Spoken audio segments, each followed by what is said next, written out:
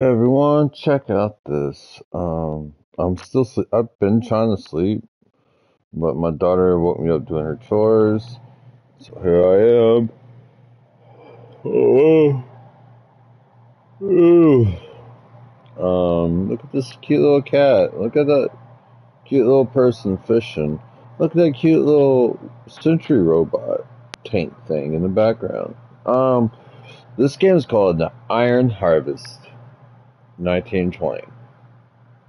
This game is an RTS strategy game Um, I managed to find like the complete edition selling at Best Buy for twenty bucks.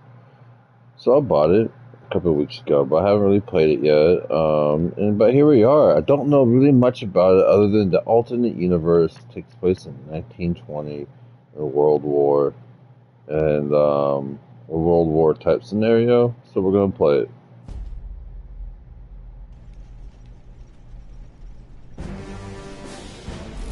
Oh.